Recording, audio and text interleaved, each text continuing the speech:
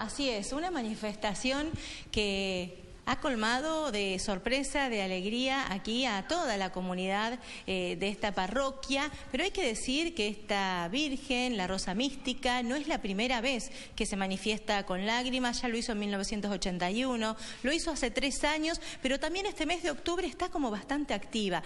Eh, lo vieron los niños, también los vio un grupo de matrimonios y estamos aquí con ellos precisamente, con catequistas, con el Padre Marcelo, con niños que han estado también en ese momento, para que nos cuenten, bueno, primero vamos a empezar Marisa, con el padre Marcelo. Eh, Marisa, contanos eh, cómo fue eh, la última manifestación que tuvieron aquí de la Virgen. Hola, buenas tardes a todos. primero agradecerles la presencia porque estos signos que nos está brindando María en este mes especial, que es el mes de, de la Madre, donde festejamos, celebramos la vida de nuestras familias, María, que es nuestra mamá amorosa, piadosa y tierna, se quiso manifestar a través de un signo, especialmente a los niños. Estábamos con los chicos de preparación para la comunión, tanto primer y segundo año. Habíamos hecho el jueves la bienvenida en, la iglesia y luego uno de los grupos se queda acá porque iban a hacer una preparación especial para eh, el momento del 16 y 17 de noviembre. Tenemos las fechas de comunión. En un momento se empieza a sentir mucho, mucho, mucho olor a rosas, fuertísimo, las, flores que están en el altar estaban secas, entonces llamó mucho la atención. Como nosotros sí sabíamos que había una manifestación previa hace unos jueves atrás al grupo de matrimonios, enseguida eh, estas catequistas que estaban se acercaron y observaron y la Virgen estaba llorando. Llegaron incluso a, tomar un video. Sí, sacamos varios videos y enseguida se viralizaron. En realidad nosotros los fuimos mandando a los grupos de papás para mostrarles, porque, a ver, eh, la fe es, es un misterio. Eh, es muy difícil creer sin ver. Y, y, la fe es eso, es mostrarle a los chicos que María se manifestó a través de un signo especial y, y tratar de hacerles entender eh, algo que es tan difícil a, lo racional. Aparte, los que lo vieron en un primer momento fueron ellos, los chicos de quinto, nos decía. Sí, los chicos de quinto que hoy están de viaje de estudio, por eso no pueden estar acá, y las catequistas que por otras actividades personales tampoco pueden estar. Pero enseguida, solidariamente, y como nosotros brindamos un servicio, enseguida nos, nos avisamos mutuamente, vinimos todos, porque es un momento que es un milagro, es la acción de Dios en pequeños signos, en signos de todos los días, que siempre se los decimos a los chicos, pero es más difícil entenderlo solo por palabras, sino que, que lo puedan ver de una manera tan gráfica. Realmente había mucha emoción, eh, mucha alegría, mucho llanto también. Se nos llenaron de preguntas. Eh, en realidad no nos preguntamos por qué llora. Eh, nuestra principal acción en ese momento fue sentir que María nos,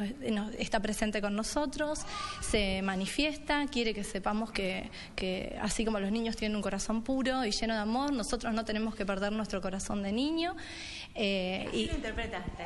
Yo lo tomo así. No podemos saber eh, por qué lloro o no, pero sí nos pide que transformemos nuestro corazón y tengamos siempre ese corazón de niño.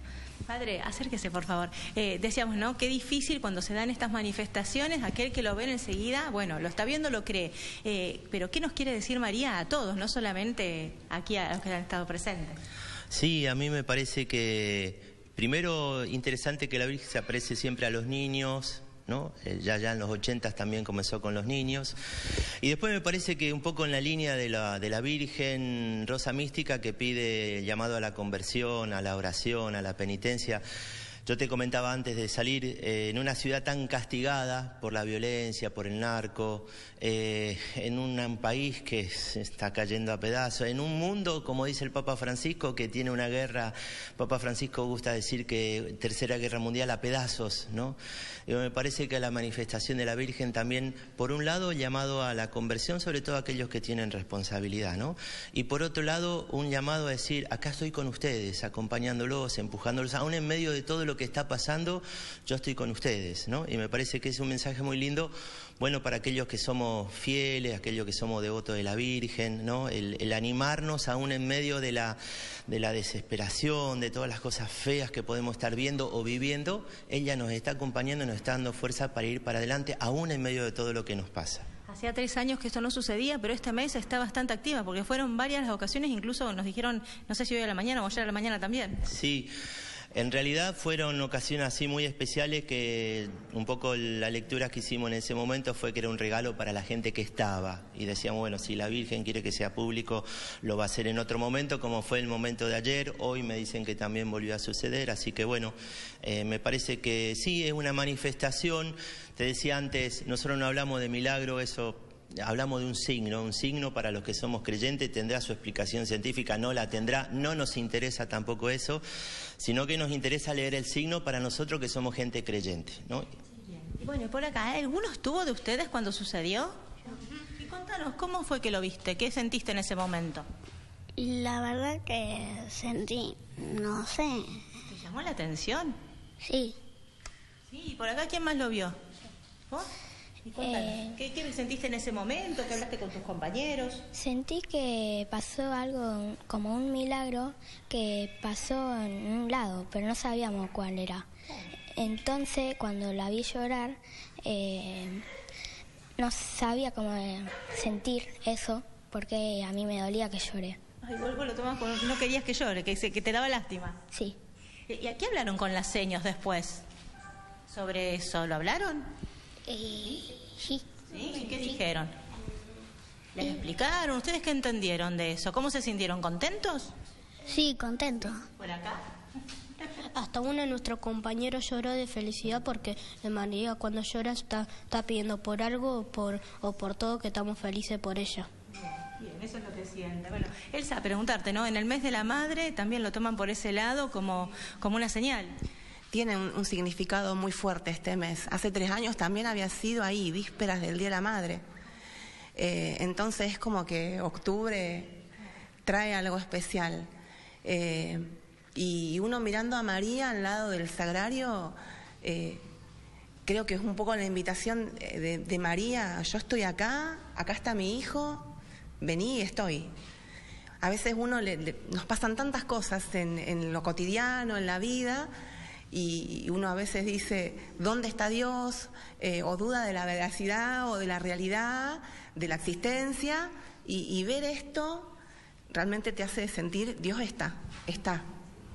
Bueno, no, qué, importante todas las palabras que han, que han dicho, tanto las catequistas como el padre, los niños, eh, un poco sorprendidos los más chicos con esta manifestación, pero que se ha dado en un mes muy especial, decíamos, en el mes de octubre, en el mes de la madre, eh, la Rosa Mística, que no es la primera vez eh, que llora, podemos decirle, y que esta vez, bueno, nuevamente lo ha hecho frente a niños, como ha sido en otras oportunidades, para traer ¿no? Eh, en este mes tan especial como una señal ¿no? por el Día de la Madre, como dijo el padre también, ¿no? para repensarse uno, para generar acercamientos, para mejorar determinadas estructuras y de alguna manera hacer para todos un lugar mejor, que es lo que todos esperan, ¿no? Pero bueno, acá la Virgen eh, ha traído ese mensaje.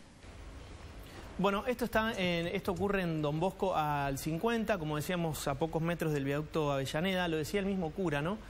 Lo que para algunos tendrá alguna explicación científica o de otro tipo, para los fieles, eh, religiosos tiene una simbología importante. Y lo decían ellos, parece que primero María no quería, quería que era, era solo un mensaje, o en los primeros términos un mensaje para pocos, para los que estaban ahí, pero se siguió manifestando y ellos consideran que es un mensaje para muchos, con lo cual lo dan a conocer de esta manera, se hizo público. Y eh, Feni, para preguntar, ¿está abierta la parroquia? ¿Tiene horarios? Digo, porque me imagino mucha gente que está mirando la tele y que dice, bueno, necesito ir un ratito, acercarme. ¿Cómo, cómo son los horarios? Seguramente, padre. Bueno, a raíz de esto, seguramente, y aprovechando que el domingo es el Día de la Madre, ¿cuáles son los horarios de la parroquia para aquel que se quiera acercar? La parroquia, bueno, por la tarde todos los días está abierta la parroquia. Y los horarios de celebración son miércoles y viernes, sábado y domingo, a las seis y media de la tarde, después del Día de la Madre pasa a las siete de la tarde y los domingos, además de las misas de la tarde, los domingos once y media de la mañana. Bien, entonces tienen muchos días para venir y acercarse. Sí, y después de lunes a viernes eh, está abierto aquí para visitar a la Virgen de dos de la tarde a las seis, seis y media de la tarde. Eh, quien quiera venir pide abrir y se, libre entrada. Don Bosco 50. Don Bosco 50. Muchas gracias. Bueno, respondido Analía para todo aquel que se quiera acercar, que se haya sentido conmovido con esta eh, con este suceso y que de alguna manera, por lo que dicen, no es un mes de octubre muy activo y tal vez los termine también sorprendiendo la Virgen con una manifestación en el momento que vengan. Gracias, Feni.